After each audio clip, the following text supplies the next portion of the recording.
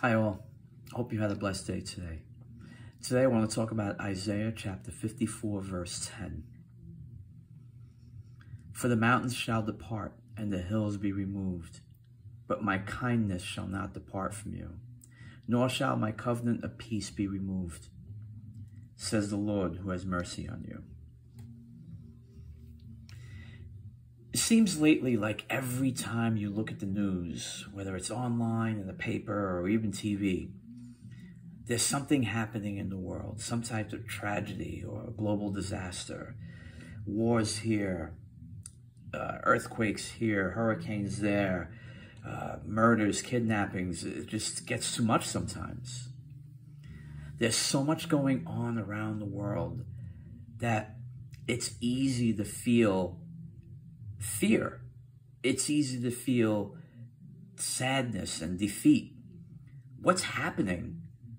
And could it happen to us? Those are the thoughts that that could and possibly do come into your mind. Now, hurricanes, tornadoes, uh, you know, tidal waves, earthquakes, nothing new to us. These things have been happening for centuries now. Actually, they've been happening ever since Adam and Eve sinned against God.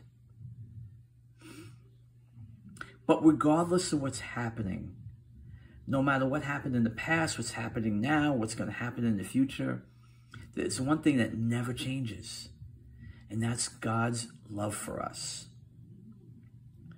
Our past is forgiven. Our future is set in stone. There's nothing that we can do that will make God fall out of love for us.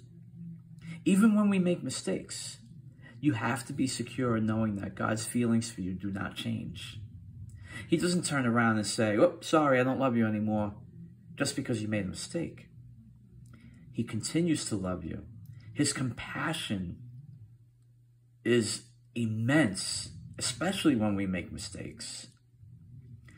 This means that you don't have to live in fear we can enter God's presence confidently, knowing that nothing can ever come between us and His love for us.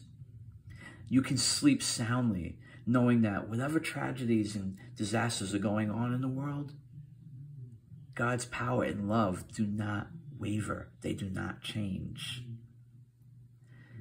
The Bible says that God is our rock.